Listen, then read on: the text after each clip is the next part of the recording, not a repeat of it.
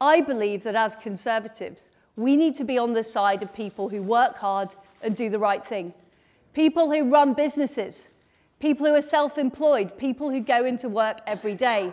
Those, those are the people whose side we need to be on. I would also, I, I would,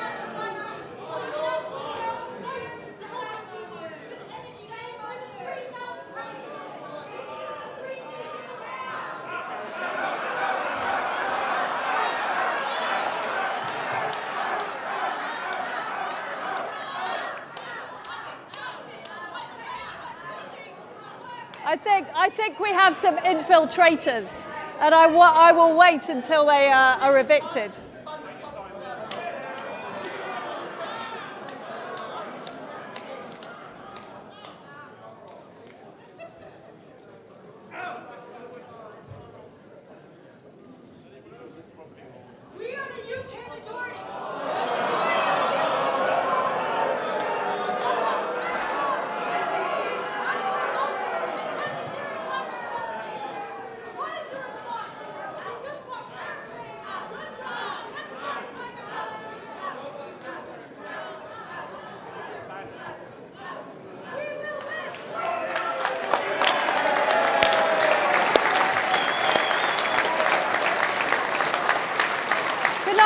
Can I just say, can I just say a few words on the militant people who try and disrupt our country and who try and disrupt our democratic process and try and disrupt our essential services.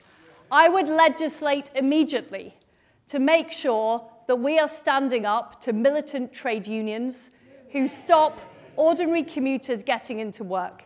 And I would legislate to protect our essential services.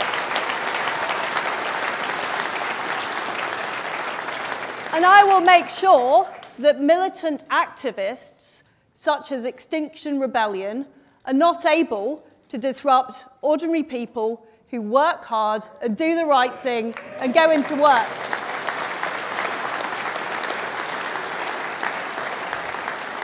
And I will never, ever, ever allow our democracy to be disrupted by unfair protests.